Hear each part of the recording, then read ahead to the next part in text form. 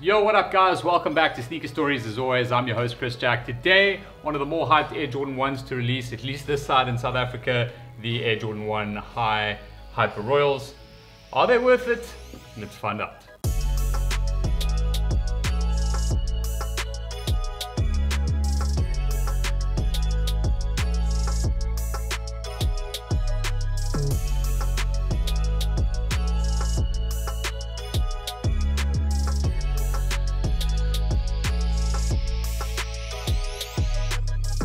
All right, so the Air Jordan 1 Hyper Royals, much, much hype around this, literally in the name of the coloring of the shoe.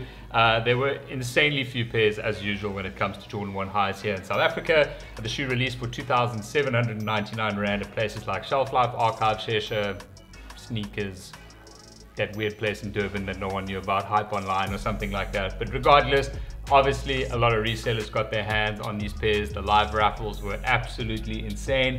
800 people. I don't know if you guys saw my story on my personal Instagram page at Chris Jack. Uh, if you want to give that guy a follow, um, then you'll see just how many people uh, were there. All for like I think 12 pairs of these in the live raffle. That's excluding the online raffle numbers, which I'm assuming would have been similar. And I'm assuming that would have been the same around Archive and Shesha as well. So extremely limited numbers. We're used to this with Air Jordan 1s. There's always going to be a lot of people trying to get them. There's always going to be ridiculously high resale prices on those. Are they worth it? You know what? Honestly, for me, it's a nice shoe. It's a nice colorway. Don't get me wrong. Materials really not that special. And I kind of grade Jordans like based on like softness of leather and just like that premium feeling you get. I don't really feel like you're getting these with them. In fact, I think like this shoe over here, the patina is a better quality shoe than what you're getting on the Hyper Royals. But I digress. It's not really about my opinion to get into the review itself, show you guys around the shoe starting with the outsole. You've got this beautiful flat gray over here, uh, done completely tonally through the standard Air Jordan 1 outsole. The midsoles they've kept completely white with white stitching throughout. And then as mentioned in the upper, the materials here, they're interesting. It's kind of similar to what you got on the Turbo Greens, which have obviously fetched really crazy prices in the aftermarket. Um, and you know, kind of didn't originally, and then they kind of went up. So this is one of those shoes I think is like riding on the coattails of that shoe. Um, you've got beautiful hits of smoke gray here. Now this is quite a nice piece of leather over here in and around the top of the heel collar and the swoosh of course and that's done in a smoke gray. But then the rest of the panels are just these kind of like iffy, leathery, kind of flat white panels. Like in the toe box section, in the sort of mid panel over here on both sides of the shoe. For me it's just like mm, am I gonna pay like more than 10,000 Rand for the shoe? Nope. That's honestly my answer to this. Like, I, I understand like people want them, people love the color of them, but for me personally, like I wouldn't be paying resale for the shoe. But moving on with the review from a lacing perspective, a set of flat white laces provided in the shoes when they come, obviously not laced all the way up. And then in the other shoe, you've got a set of these kind of royal laces over here uh, just to add a little bit more darker blue to the top, make that pop on the laces. I think both options would look really nice, but with the white ones, I would definitely be keeping those in.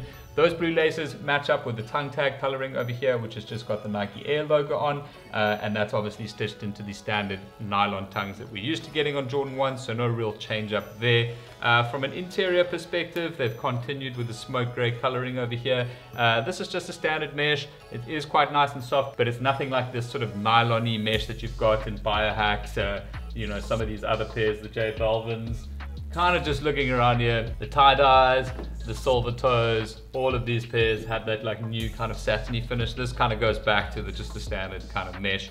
Uh, so if that was a big difference for you, then yeah, that's a change up in this one. From a box perspective, standard Nike Air Jordan box, the black and red of course, uh, no change up to that, but that would be expected. Now from a sizing point of view, it would be my recommendation to take true to size in this pair.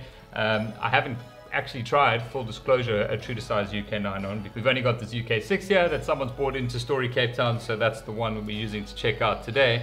Hence, there's no on foot for you, unfortunately. But yeah, overall speaking, I mean, the Hyper Royals for me are just another Jordan 1, like overhyped Jordan 1. Um, that we get from time to time. But as I said earlier, like don't get me wrong, like it is a great shoe. Like I wouldn't block it. I'm not like salty that I wasn't able to get uh, a UK 9 for myself. Like if I did, I'd probably get it, but I probably wouldn't like end up wearing it that much because it is light colors and that kind of thing. We're going into winter here, this side of the year. So there's also that, which might be swinging my opinion. But as always, these reviews for you to make up your own sort of mind on whether you like the shoe or not, and just to give you the information of whether uh, they are worth it for you. But that is it for this review of the Air Jordan 1 High Hyper Royals. I hope you guys have enjoyed it. Once again, sorry there's no on foot for you today. I just don't have a size to do that for you guys today definitely can't fit into UK 6. But if you did enjoy it, found it helpful or informative, please do me the favor, give the video a thumbs up. Don't forget to subscribe right here for more content, unboxings and reviews like this down the line. But that is all for today, guys, and the Hyper Royals. I'll catch you on the next one.